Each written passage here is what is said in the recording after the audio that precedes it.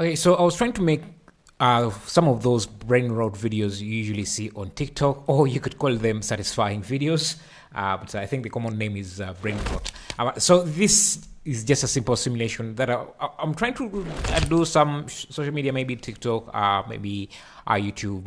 Uh, shorts, uh, this type of content, but uh, it's really, really hard to do in Blender, especially because you want to you want it to be procedure. Uh, because you can see I'm starting out with a simple uh, shutter, just two slices, and then double that, then double double that. This is really hard to do with using Blender, especially if you want to make it go on uh, uh, increasing. And uh, here is another example. So for this it's just a, a simple a domino effect.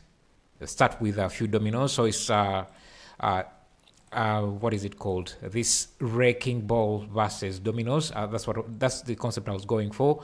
Uh, so we start with uh, one column. I wanted to start with one column and then two, and then go on to more. But uh, yeah, it was going to be too much, too too too long. So and your attention on, brain rot content is really not there. So I simplified it to make it simple, and here we have a larger stack. So setting this up in a procedural way in Blender is basically not really doable uh, unless uh, I remember there was a time when they were working on the um, RBD geometry nodes section where you, you could have physics simulation in geometry nodes, but I don't know what, where that ended. Uh, but uh, if that was possible, maybe this would be possible. But uh, yeah, so I decided to just go with Houdini and create up uh, create a simple setup uh, that was procedure. So let me show you how simple this was. Uh, first, I set up. I created the a procedure domino. It, it's not necessary, but you can just make it in Blender and import it in Houdini. Let me first turn off uh, hide other objects. So you can see how I start with a cube here and uh, basically let's see convert uh, this to align, one of the edges to, to a line because I want the lengths to be the same. And uh, let me see. I center it with using the match size uh, subdivide it to add extra points. So that these are three points. We start with two and then go to three. Uh, basically, stuff you would you know how to do in in geometry nodes, except here you're just using uh, different nodes. And uh, instance these three cylinders, um, move uh, scale them down, and uh, I think do I move them? I don't remember, but uh, yeah. What do I do here? Oh, I create this side thing, extrude, extrude it, and uh, join it to the rest of uh, you can see the tubes there and uh, this mirrored here so I end up with this and these top ones are just also uh, this mesh subdivided mm, let me see yeah I subdivide it a few times and instance uh, these cylinders on top of it and then merge it into uh, you, you don't have to do this in Houdini. It's, it's faster and easier to do in uh, because I'm using the same uh, the same Lego piece over and over. It's not really necessary, but I just wanted to do everything in Houdini.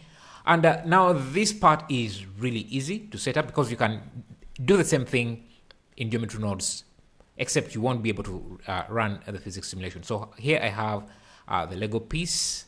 let me first turn off this uh, you can see the Lego piece there, and uh, this is the simulation. So uh, the simulation is very, very simple.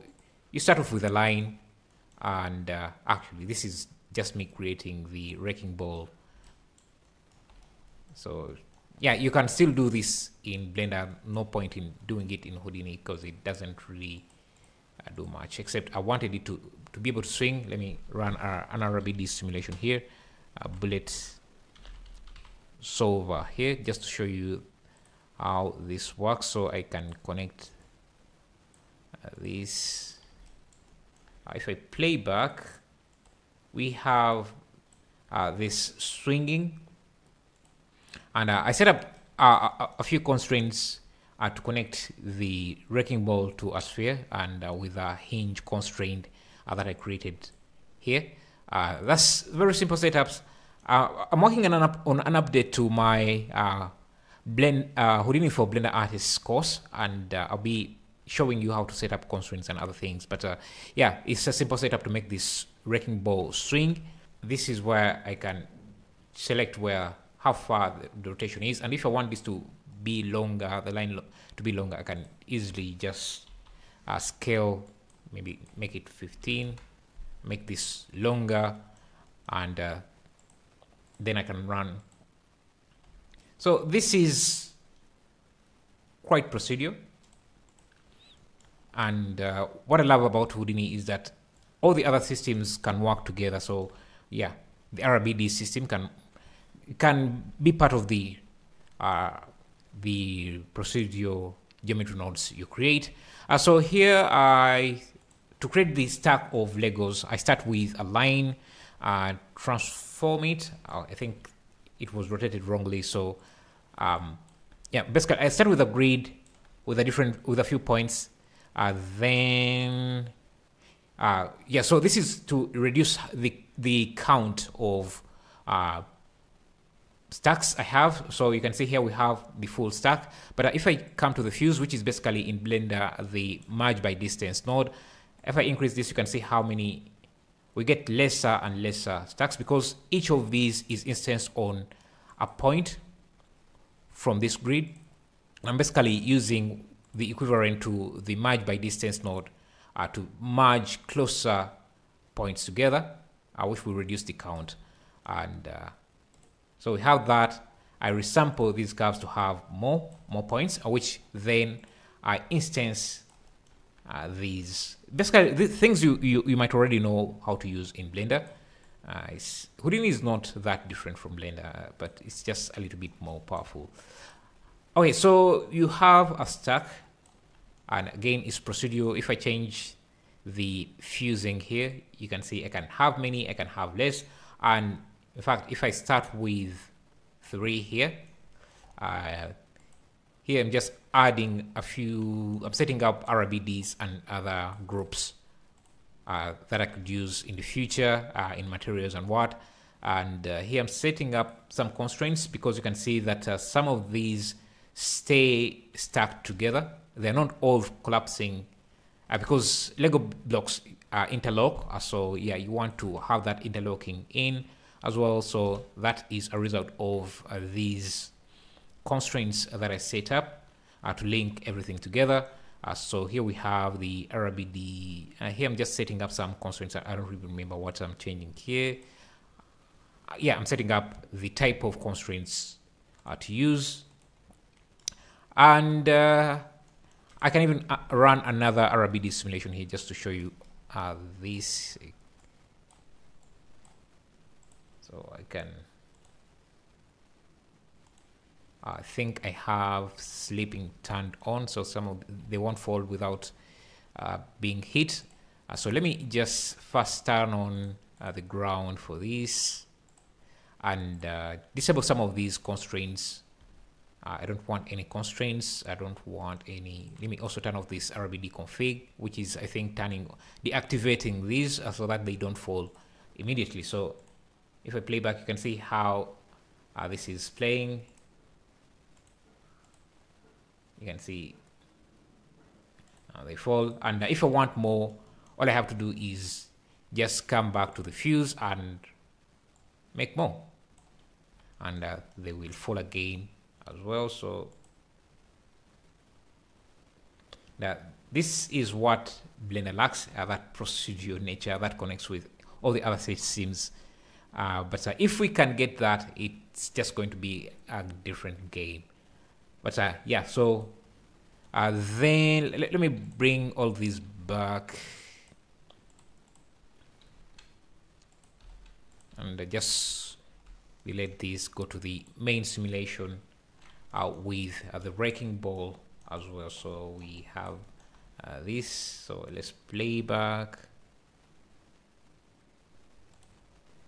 Let me first produce the number of points we have. Yeah, it's, it's a bit slow, but uh, this this swings and uh, collides into into these, and uh, that's how I did that.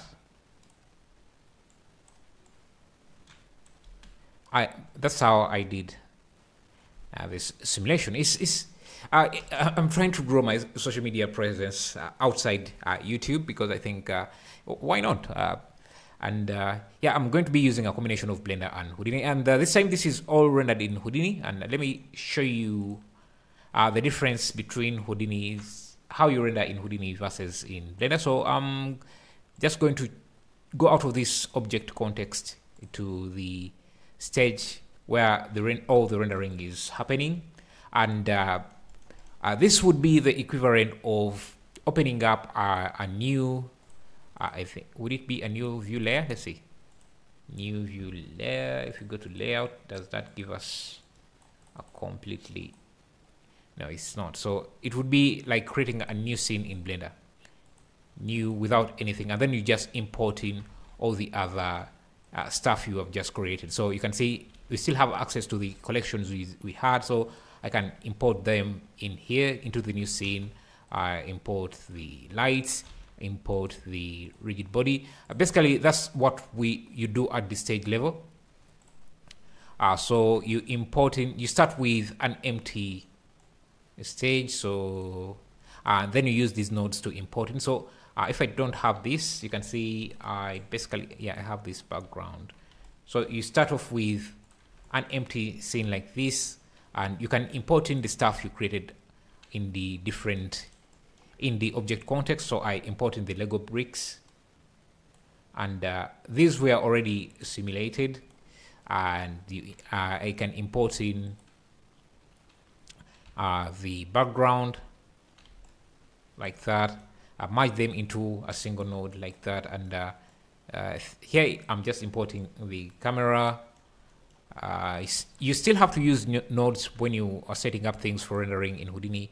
And uh, here I'm setting up uh, lights. So the lights are usually set up within the stage. So you can see so I have a dome light which is basically how you set up an HDRI light. And you can see that uh, we have uh, that in the background. You can switch it as you if you want. I can disable it by selecting Q. Uh, then I can add another light. Uh, you can see the light there uh, then a neck another one here a top light then and then setting up material can be a little bit confusing at first but uh, you basically have uh, this container where you create all the materials you want and uh, you use the material library and uh, you go in and create the materials. Uh, the, the nodes looks look a bit similar to, uh, to Blender's nodes. So this is uh, another, you can call it a group node. they call it a subnetwork here. so I have one for the metal, which is the wrecking ball, and then the wood, it would be the background, and then the Lego bricks. let's go to the Lego bricks a bit here. So you enter the group, and you can see uh, this would be the standard PBR material in Blender and uh, you can see the base uh, roughness and everything uh, basically set it up in that same way and uh, randomize each of these to have a different color and uh, for this because I'm using Material X I would have to go into Karma XP which is Houdini's render engine uh, to see the results. Uh, so you can see that uh, now each of these has has its own different color. so let's go back to the material and uh, lego you can even preview these materials similar to how you would in blender so for example if i had let me go back to the old scene here so for example if i had this let's see if i had a texture uh, brick texture uh, in blender if you have the node wrangler add-on enabled you use control shift click uh, let's go to the material tab and you can preview that node. Uh, if I have another, let's say, uh, let's say a color node. Uh, is it the RBD, RB, RGB node? You can use Control Shift, click on it, and you preview that node. Uh, similarly, Houdini has that. So, for example, let's say we have uh, let's import in an image. You can use image, uh, which you just use the uh, Material X image node. I can just grab this and uh, you can select the file. Let me grab, let me grab whatever I have here. Uh, so to, to preview this, uh, you just use X and it will create a visualized node, but you can see it's not previewing yet. Uh, for some reason, when in Houdini, this has to be calculated by passing it through uh, the node. And uh, for some reason, it's not. Let's see. Ah, yeah, it's, it's not showing because in Houdini, to preview the objects, the material that contains that data has to be active. And right now we are still at the area light. So anything below it is not being preview, previewed. So our material library hasn't been calculated. So I have to go onto that and uh, you can see under it there is an assignment material and an assignment node. So here you can see all the materials we have, but we haven't assigned them. To assign them, we use the assign material node. So I have to look at that and uh, let's see yeah, you can see that we should be uh, previewing the materials uh, now. So you can see that the image texture, if I go back to the library, uh, should be we should be previewing this because if I remove this, we go back, we should be going back to the original original texture. Oh, I still have this connected, so uh, let me delete that. We should be able to go back to the original colors yeah, so you can see that we have our colors. Uh, but I think I was using uh, this random color generator to preview this. I think, no, it's this, I think. Perfect. So you can see the different colors. So it's uh, it's not that different in Blender, and I can promise you, if you if you somewhat good with Blender, you can easily pick up Houdini and uh, yeah, take advantage all the other things. And uh, it doesn't mean you have to abandon Blender because I haven't done that either. I'm still using it quite a lot. Uh, it's basically just an extra tool that you can leverage in your workflow. Uh, is really really powerful and I would recommend anyone to do it. Anyway, if you want to get started with Houdini, links are in description for my Houdini course, uh, which is the Houdini for Blender Artist course. And uh, yeah, thank you for watching. See you in the next one.